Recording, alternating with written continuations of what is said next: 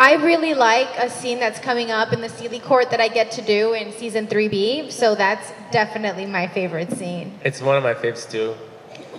Okay, but you said not the new episodes. Oh, not No, the you new said- I think you said in- No, I didn't hear that. I Not- heard not yet. not Oh. the new episode. I mean, forget what she said. There's no scene. There's no. Uh, from the old episode that I really like enjoyed.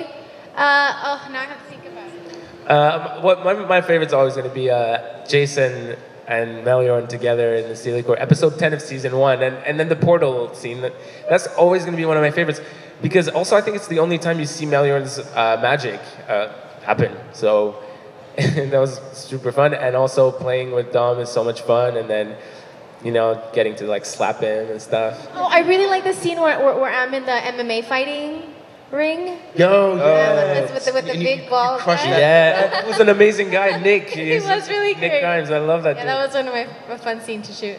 memorable for like the, the importance I felt that the scene carried. That one scene between us, where um, Clary is asking Simon to register as a downworlder, and then Simon uses that moment to uh, teach Clary and kind of remind her why that's a very dangerous path to go down, and why historically he, he can't he can't agree to allow it to happen again. Uh, that one is important, and then the scene where Jace walks into Simon and Jordan's apartment.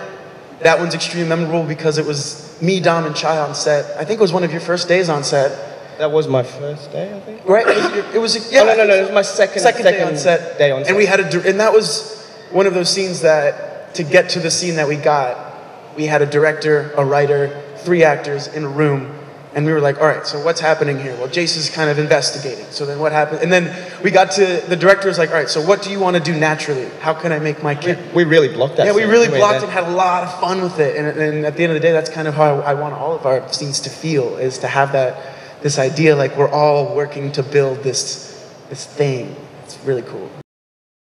And I could write a book with all of the memorable scenes. Our our breakup episode is one of my favorite. We, you destroyed me in that episode. Over, I swear I cried more on your covers than on my own, just because this man's amazing. Um, but there's so many scenes like uh, there was a scene where all the scenes where Clary's confessing what she the secret she's kept and why, whether it's to, to Luke or there's one where she confesses to the entire group. That was such a culmination of so much she'd been bottling up. But ultimately, one of my most memorable episodes was when we brought Alan back to life.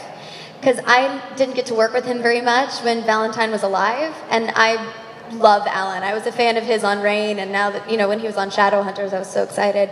But getting to work with him for almost a full episode and have so many one on one scenes, this man is just brilliant, and he brings it every time and brings something different and, and uh, really challenged me, and I, I loved that.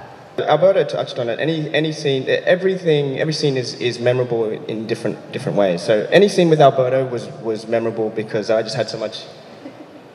What was that? He really loves Always, always. Um, I had I had so much fun with every every scene that I shot with Alberto. So that will, will always be memorable in that way. But I think something that was really sentimental, a scene that really meant a lot to me. Um, was in episode seven where Jordan and uh, the flashback where Jordan and Maya kissed in the in the in the, the jeep or the pickup truck, whatever you call it uh, that whenever I do kissing scenes, I get so nervous. Right? It's because kissing means a lot to me. Right? I I I hold a lot. I hold kissing dear to my heart. And Alicia is just so stunning. So I got so nervous. I was like, oh man, you're so beautiful. Okay, I've got to kiss you. Uh, please don't screw this up. Please don't screw this up. Please don't screw this up. Oh, I think I just head butted her. oh no, that's going to be. So that was memorable. It came out, when I've, when I've watched the final edit, it, it turned out really sweet and sentimental. And it was exactly how I, how I remembered it. So for me, that was probably one of those, those moments that I will hold dear to me because, well, like I said, kissing, kissing means a lot. So, and it came out so naturally and organic. So that was my oh. answer. Thank you. Thank you for your question.